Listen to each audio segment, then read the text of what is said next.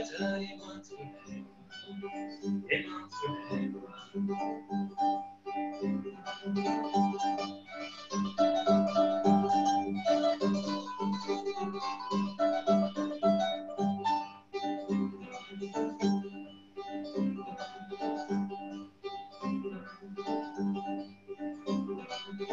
Emanswale, Mori Manswale, Amabajata, Emanswale, Emanswale.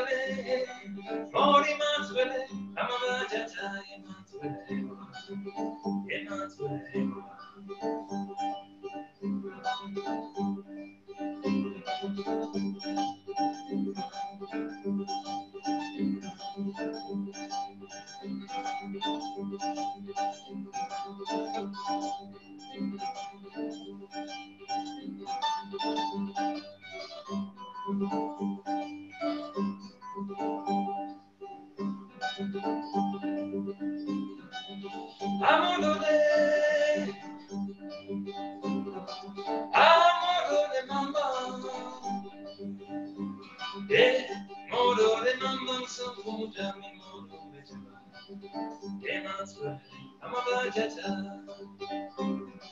mori manswale, amabajata. Emanswale,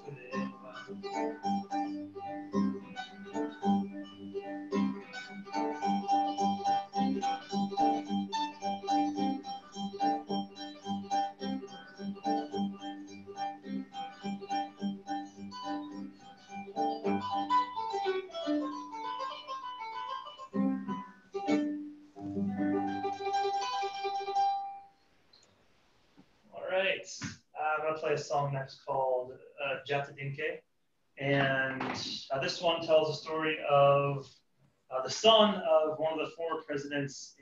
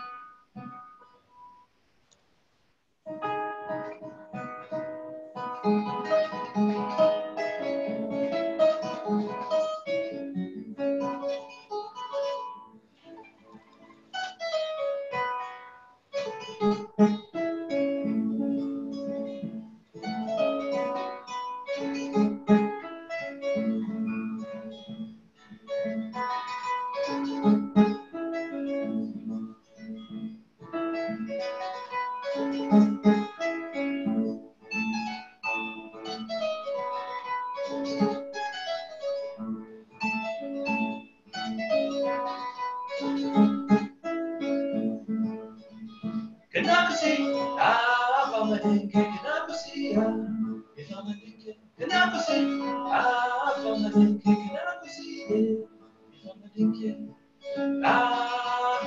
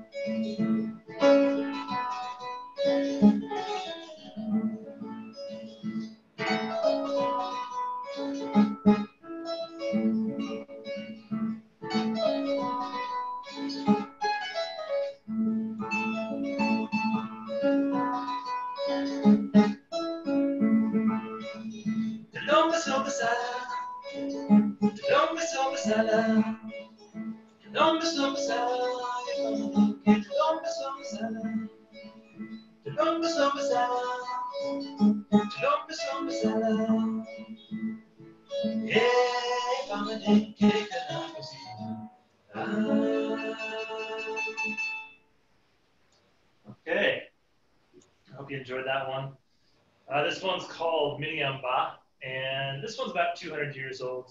And um, song was about traveling, how uh, those who travel they should be taken care of and uh, looked after. Minyamba,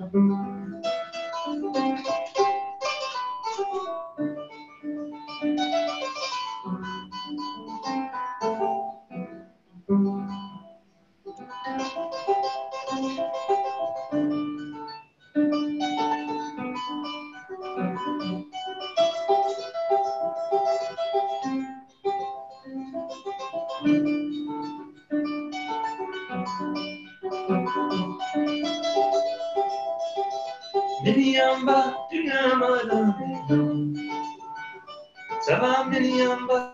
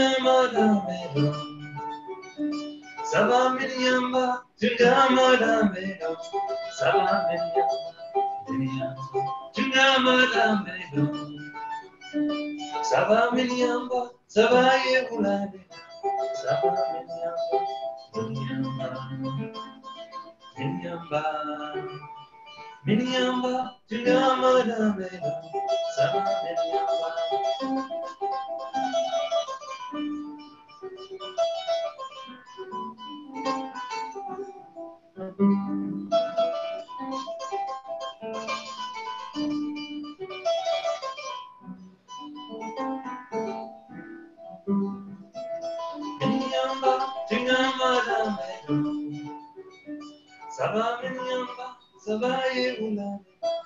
Saba Minyamba, Minyamba, Tungama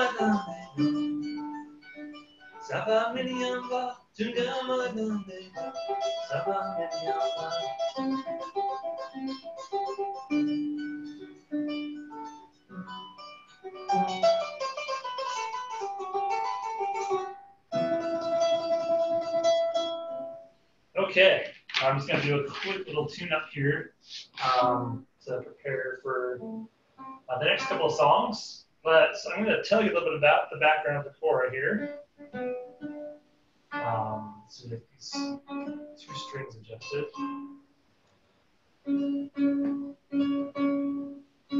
Okay, so the kora, um, as you can see, there's quite a few things that go into making one. Uh, historically, the kora is 300 years old, uh, dating back to the early 1700s. Uh, much of the music that you hear on it uh, can be as many as uh, 800 years old. So that's when a lot of this uh, music began. Uh, if there's a song that was played on the kora um, before it came around, so before 1700, it was usually composed on an instrument called the balafon, which is a wooden xylophone played with one mallet in each hand uh, or the ngoni, which is a stringed instrument that's played sort of like the guitar. Um, with the kora here, uh, down at the very bottom is a calabash, which is a gourd that grows in the ground like a pumpkin. Um, to use it for the kora, they cut it in half, uh, de-seed it, and take out all of the wet uh, material that's in there. Uh, they dry it in the sun for two weeks up to a month. Um, and then it gets uh, it's hollowed out, it's dried, and then you have stretch a wet animal skin over the open half, which gets nailed back here to the back side with upholstery tacks. And then three holes are cut into the calabash once the skin's on, and two of those holes are so that the neck that I'm holding on to, this long piece of wood, can slide through the top down to the bottom. And then the third hole right here uh, serves two very important roles. Uh, the first is so that sound can come out, and the second is so that money can go in the hole. And the reason that money goes into this hole is because uh, the people who play these instruments historically do a lot of praise singing. Um, sometimes the praise singing is for a particular person. Um, if that's the case, um, if there's like, actually, I'm going to get into a little bit later, but um, it's, it's really interesting how it all happens. Uh, but I do want to move along with construction of the kora here. So once you have the neck through and the sound hole punched, um, you have this iron ring that has to go through the bottom of the neck. And the easiest way to get that through is just to take a power drill and put a hole through. Most of the kora makers that I knew in Gambia didn't own drills. So what they would have to do is they would heat the ring up, like in an open fire that was used to cook with, or in like this little aluminum tin that was used to brew a trad- traditional tea with called ataya. Uh, so they'd heat the ring up for a few minutes and then put a glove on one hand while they held the ring up against the wood and they would take a hammer with the other hand and start pounding that into the wood. Um, and once they had the hole they need, they'd slide the ring through and secure it in place. And then they'd put the anchor strings on. Those are the, the darker ones down here below. I'm actually going to move just a little closer to the camera. So these here are the, the anchor strings. And then the plucking strings get tied off to those. And then they run up to the neck here. And they are met by tuning rings. So each of the strings get tied around one of these tuning rings about four or five times. And then to tune, you actually physically have to move these tuning rings up the neck or down the neck. So by moving them up the neck, you're putting tension on the strings, and so it's going to raise the pitch, and uh, vice versa, if you go the other way. This bridge here, um, it holds the strings off of the skin. Um, so there's two rows of 11 strings here, being a 22 string kora. So 11 on that side and 11 on this side. Um, we have two handlebars. So and a crossbar, I should say. So that's a total of six holes that you have to cut into the calabash to get each of those through. So two for the crossbar here, and then two for each of the handlebars. And uh, as you, as you probably tell, there's quite a few differences between the two cores that I am using this evening. So this core right here is the model that you would more often than not see uh, if you were to go to um, one of the countries where it's from, such as Gambia, Senegal, or Mali. Um, there's about 10 countries up in Northwest Africa where you can find Kora. Um, so the four major differences between the two are the type of animal skin that's used, the wood materials, string materials, and the tuning system. So this core uses cow skin, um, which is very common in Gambia. In fact, I've never seen anything more than that used to cover the, the open end of the calabash. The wood uh, is called kano. The strings, it a little bit closer here again. Uh, these strings are actually made of fishing line. Uh, so fishing line's been used for about 100 years. Before that, they used antelope hide, um, like the, the skin of the antelope for the plucking strings. And the tuning rings are actually also made of cowhide, although they are a little bit darker than the, the one that covers the calabash. With this Kora, uh, this one was actually built in the US uh, back in 2011. Um, it uses elk skin. Uh, the person who actually built it, um, he lives in Oregon and runs an elk farm. So uh, he uses an elk skin instead of the cow skin, holds it very well. Um, the wood, there's two kinds. Uh, one is Padauk and the other is Honduras mahogany. And everything has been sanded and uh, finished and stains. Um, and then the strings here, rather than being uh, fishing line, are harp strings. I know it's going to be hard to tell uh, from your angle, but uh, they've been ordered from a harp store. And then the last major difference is the tuning system. So rather than having tuning rings that you have to move up or down the neck, you have tuning pegs that you can twist like a guitar. And uh, that makes it a lot easier to tune. Okay, I'm gonna play a song called Ninkube Keladi. And I learned this one uh, on my most recent trip to Gambia in 2018. It's a traditional song, um, meaning uh, when you meet someone for the very first time, uh, you think very well of them. Uh,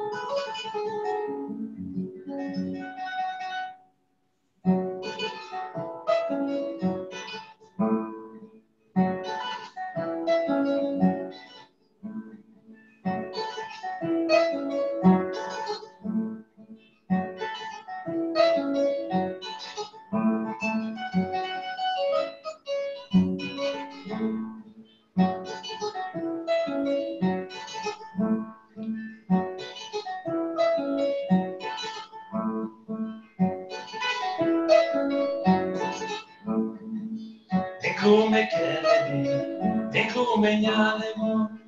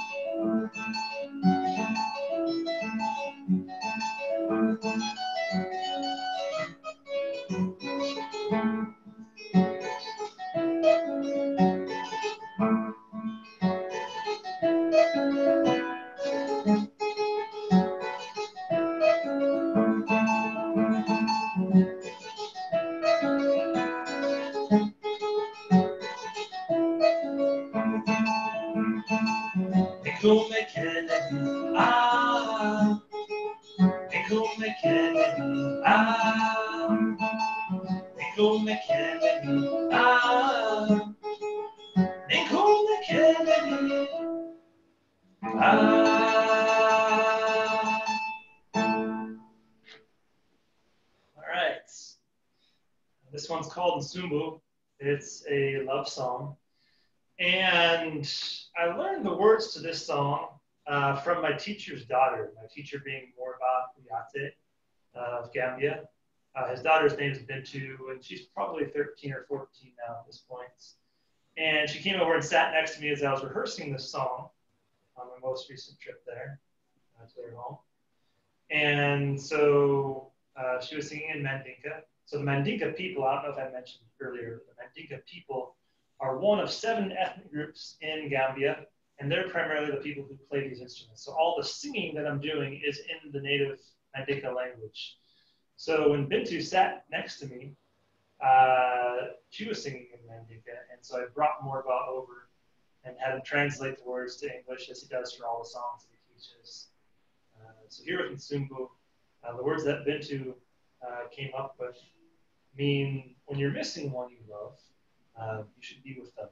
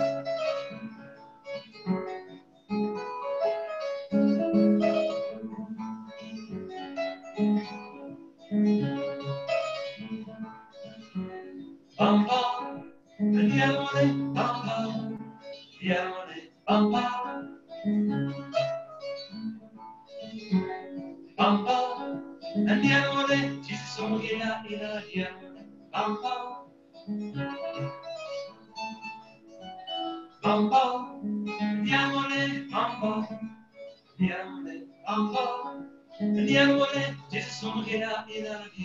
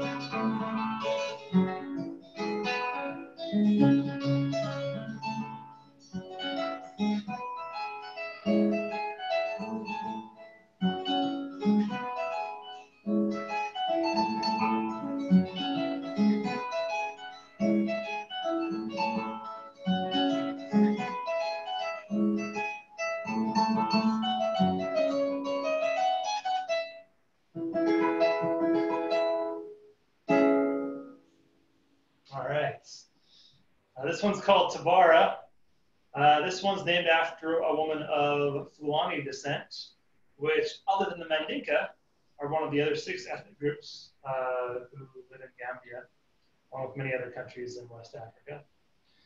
Uh, so this song was written in the 1800s while she was still alive, and the song was dedicated to her by the people in the village where she lived. It was unanimously believed that she was the most beautiful woman in the village, and people wanted there to be a song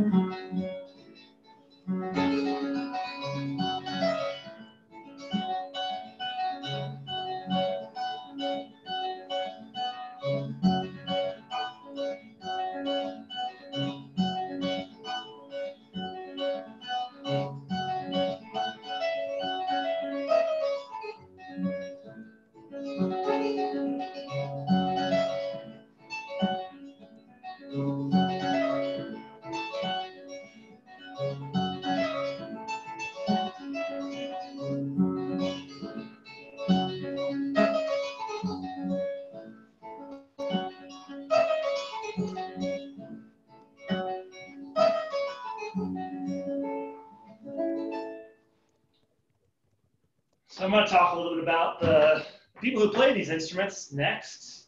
Um, so as I mentioned before, they are of the Mandinka ethnic group, but within Mandinka society, there is what some might consider to be a class system that exists. And so uh, oftentimes people are born into families that uh, do certain things for their work uh, throughout the entirety of their lives.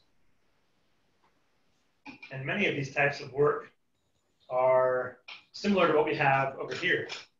However, the people who play these instruments, we do not have an equivalent uh, in our culture. These people that I speak of are called griots, spelled G R I O T S. And a griot is a historian, uh, literally a walking history book. Um, and all of this history dates back to the founding of the Mandinka Empire in the mid 13th century, 800 years.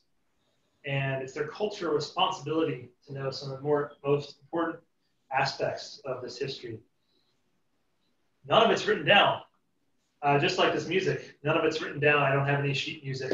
Um, no one ever has. It's all passed down uh, orally and just kind of embodying um, what, what you are taught. um, so the griots, um, they play a lot of different events. I'm going to talk about some of these events that they, they play at.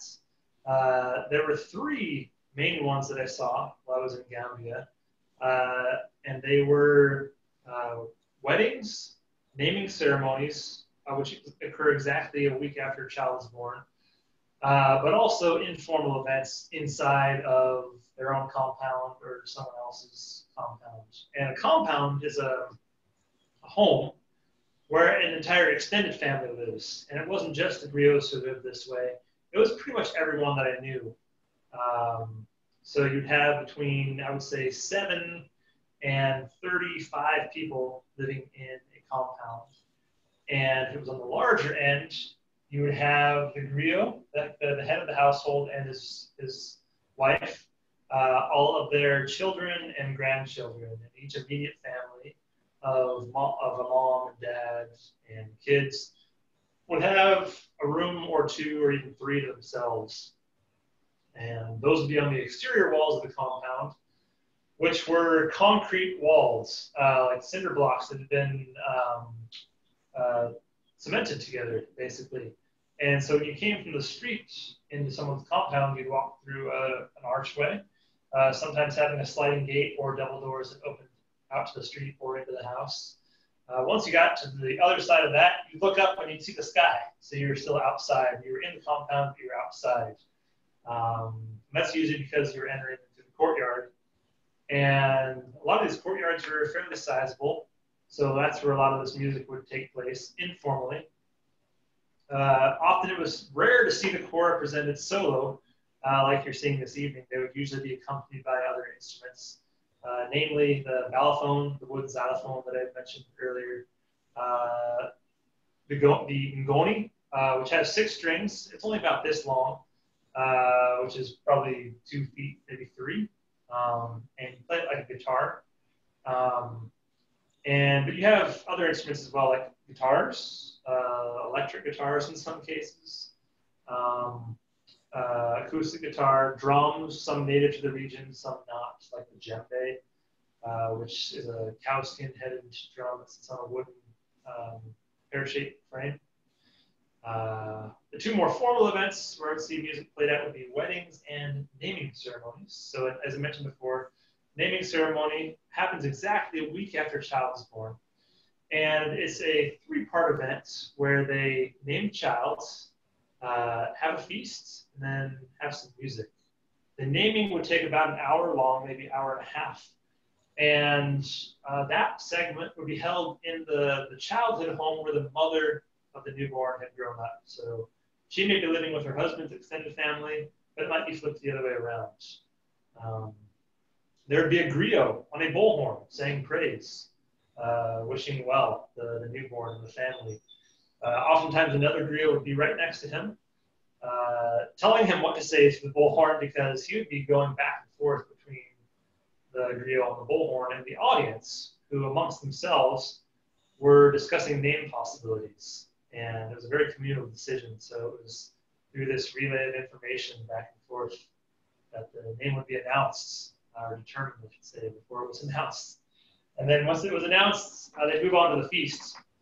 Food would be served in large bowls that I would say four up to eight people would sit around and share from together. Eating would be done with your right hand typically. Uh, you could use utensils, which were readily available. I found it easier to use my hand based on how the food was served. So in these large bowls, you would have cooked white rice at the bottom. Um, you would have uh, an assortment of vegetables over the top, all of which should be steamed uh, in a soup pot over an open fire.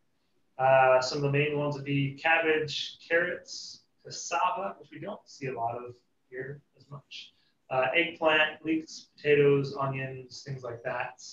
Uh, meat was very common. Uh, chicken and fish were both very common.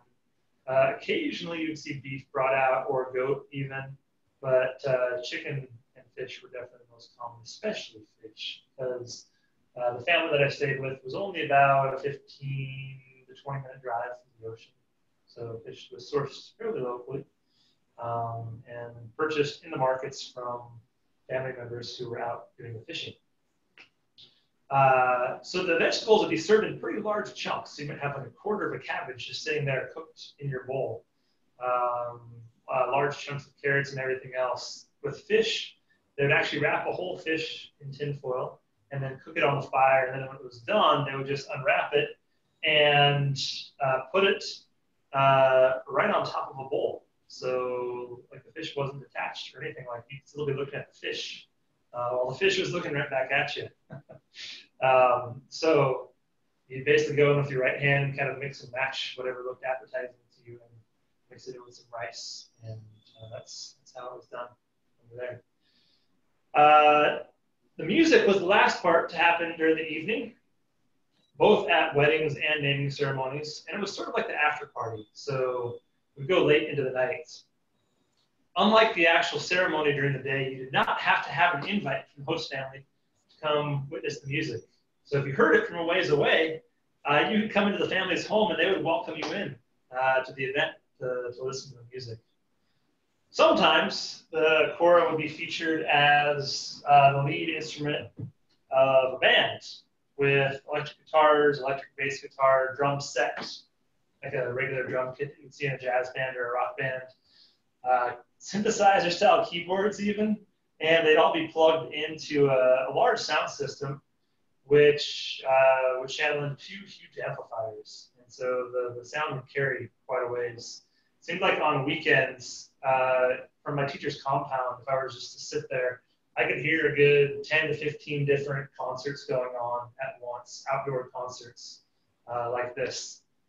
Um, the bands who played at them, they made their living doing this. And so they had to engage the audience to, to get paid. And so uh, we're kind of going back to the whole concept here now of the sound hole being used as a money hole.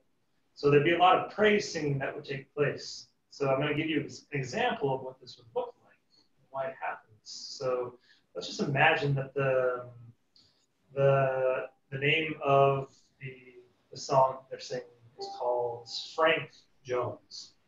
So when the kora player eventually starts singing, he may be singing something in essence of um, anyone from Frank Jones' family. Back in the year 1612, uh, here are these four things that Frank did for your people that were so important. And I'm going to talk about this for the next little bit. So if any of you out there are in this, this lineage in the Jones family, please come up and show your respect in the form of a cash payment. So the reason that this type of monetary exchange takes place is because the people really value the fact that the griots are the safekeepers of their history, knowing 800 years worth. And um, the fact that a griot can ask your last name and be able to tell you about your family dating back 800 years means a great deal to the people. And so they want to see that the griots are um, financially compensated for the work they're doing as safekeepers. So, I'm going to play a song next called Alalake. And then after that, um, we're going to go ahead and have a little Q&A session and then move on to the last song for the evening. And um, so if you do have any questions, uh, go ahead and type them into the chat feature. And I'm actually going to move closer and uh, look into the chat screen, and I'll go ahead and answer your questions uh, one at a time. Uh, this one's called Alalake, and it's a 300 year old song. Uh, basically, meaning when good work has been done, uh, those who are responsible, they should be celebrated or rewarded. Alalake.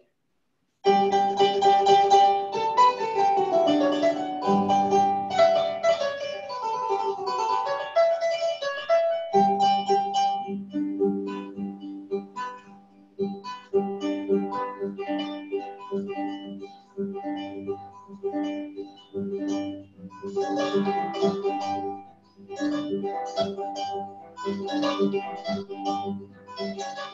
you.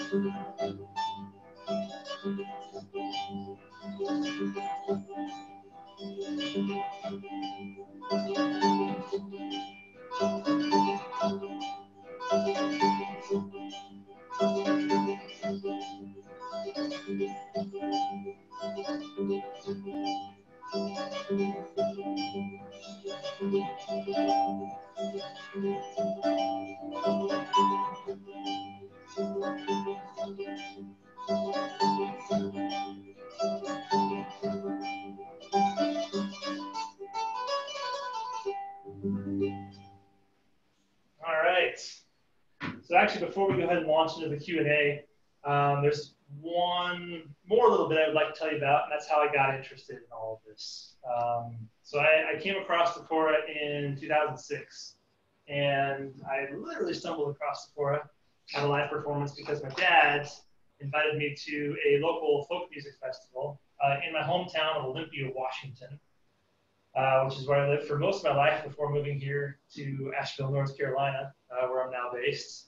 And so the person that I heard perform that night, uh, his name is Kane Mathis, and he was born and raised in the States just like myself. And he's been to the Gambia a fair amount of times as well. So I talked with him after the show, and I figured out that he was willing to teach me. And so I was able to acquire a kora uh, shortly after from a guy who had just gone to Gambia and come back. And I started taking lessons with Kane.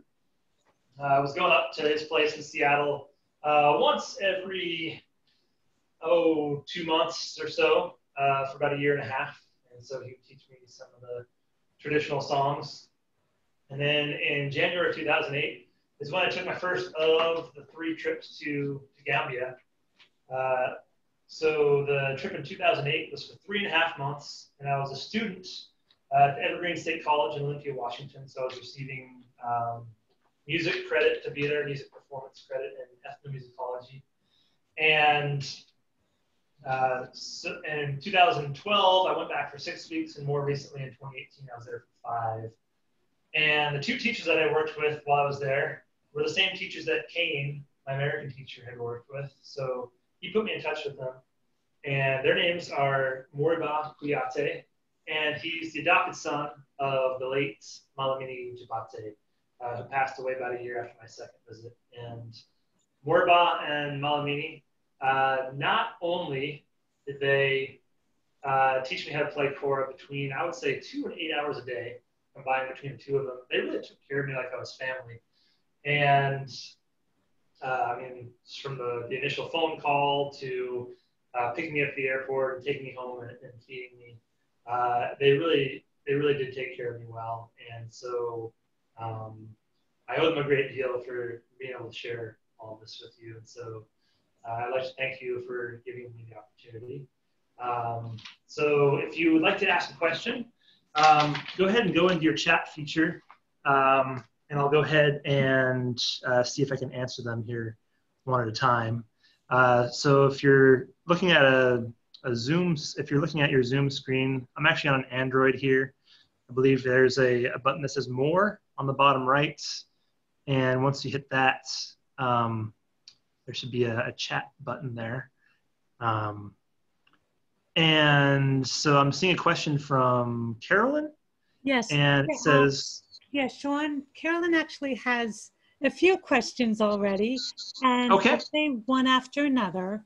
Okay. Um, what kind of gourd was used for the kora he is playing now? So the one that I just played. Um, that was a little while back in the program. What? Sorry. It was a little while back in the program, but she had asked what kind of gourd was used for the kora. Yeah, I'll um I'll bring them back up here in the forefront. So the wood for this traditional kora right here from Gambia uh, is uh, what's called Keno, K-E-N-O. Um, it's a wood that's pretty much only found in uh, various parts of Africa. Um, and then with the the non-traditional one with the tuning pegs, it uses a combination of padauk, which is a southern African hardwood, and also Honduras mahogany. Uh, another question was, what's the significance of the, you have like a painting or a quilt behind you. Is there a significance to that? Yes, there actually is uh, behind this um, this tie-dyed sheet back here. Um, it's actually a bed sheet, believe it or not, and I got it in Gambia. And so when I was setting up the the spare bedroom of my apartment, as a, um, live performance recording studio, I decided to hang it. And yes, her third question was, were you living in, were you living in Banjul? I was not. I was living in Brikama, which is a little further south of that. So Banjul is the capital of Gambia. Um, and Brikama is the second largest city, um, just a little ways to the south of there. So. You know what, uh, Sean, I'm going to unmute everyone just in case they're unfamiliar with uh, their chat feature or um, just allow them a chance to ask a Sure. question personally. Is that okay? Sure, you may get, we're probably going to get some feedback. Um, I had digital feedback when we did this in my last program, but we can go ahead and give it a try. Okay. Uh, otherwise, everybody, if you know where your chat is and know how to type a question, definitely go ahead. We'll make sure to uh, um, address them all, but I am going to unmute just in case. Okay. Okay. So now everyone, you should just be able to speak into, uh, speaking up and you'll be able to answer, ask a question. Uh, Sean, this is Carolyn. Um, the Hi, Carolyn. I had asked you about the one that was made in the U.S. What kind of gourd was used? So it's it's a combination of padauk and Honduras mahogany. That's the gourd itself. Oh, the gourd is actually a calabash. So a calabash is a gourd that's in the same family as the pumpkin. Right, but I thought that's what you said was used for the one made in Africa. True, both actually both use a calabash. Ah, gotcha. Thank you. Yeah, you're welcome. Oh, here's one. How do you travel? it's a good one. How do you travel with the instrument? Um, so I actually only have one case. It's a fiberglass hard shell case, and I put the the American made kora in there just because it's more delicate with the tuning pegs. Um, so it gets protected pretty well. It's it's a very large case, um, and so I can check the the kora on uh, like an airplane just as checked baggage. So, but I don't have a, a case for the the traditional one. So if I'm I'm ever flying, I just take one kora. But for like most of my performing, I just drive, and so I'll I'll load both in to the car. Any other questions?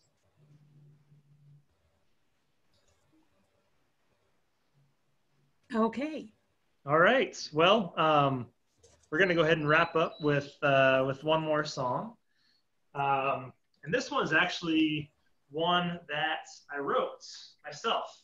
Uh, it's called Smoky Mountain Sunset, and I wrote this after a backpacking trip into the Great Smoky Mountains uh, about four years ago, and there was a gorgeous sunset that night, and so that's what inspired me to write this song.